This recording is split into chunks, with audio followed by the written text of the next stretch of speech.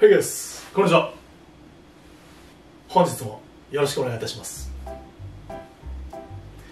さあ今日は何をやるかと言いますとこちらでございます。春ジャケットなんですけども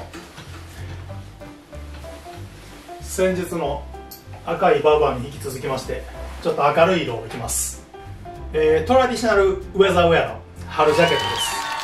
す。えっ、ー、ともともとですねウェーバリーっていうあのキルティングの人気モデルがあるんですけれども、まあ、それの春夏仕様、まあ、春のウェーバリーと申しましょうかね、えー、こちらをちょっと紹介したいと思います。いいですよね。あのカラー名はねゴールデンブラウンってなってたんですけどもちょっとこのマスタードイエローみたいなねカラーが非常にいいかなと思います。近くで見るとこんな感じ。えーと、キルティングと比べると素材が違うのはもちろんなんですけどもとこの襟ですね。キルティングのやつはあのコーデュロイ素材なんですけどもこちらはコットンピケになっております。で他のディティールとしてはまあ、えー、こうサイドベンツがついていてね運動量も確保できて。であと内ポケットがついてますね。こちら前から見てちょっと分かりますかね。ここに縫い目が走ってると思うんですけどもここに内ポケットがついております。まああのねこれは左にあった方がね使いやすい。私は右利きなんで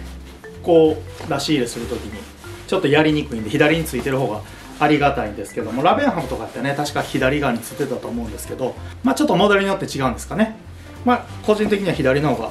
使いやすいかなとは思うんですけども。で先ほど申しましたように、まあ、ゴールデンブラウン昨年からこのカラー販売されてるようです。まあどんな感じか着てみますね。あちなみにこれはまたバブアーなんですけどもちょっと似た雰囲気ですよね。はい。では私が着るとこんな感じです、えー、サイズ40を着用しております。結構ねあの細身のシルエットでまあジャケットのように着るというかね。もともとウェーバリー自体も、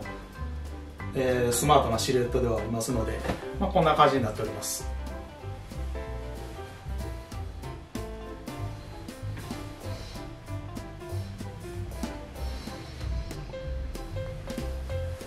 えーとまあ割とねその細身であるっていうのと袖丈もねちょっと私ギリギリ短いかなっていうぐらいだったんでまあ本当はもうワンサイズ上があればそれでもいいかなと思うんですけどまあここまでのサイズしかなかったんでまあ着れなくないかなと思って購入しました。袖もねちょっとシャツの袖丈が長いっていうのもあるんで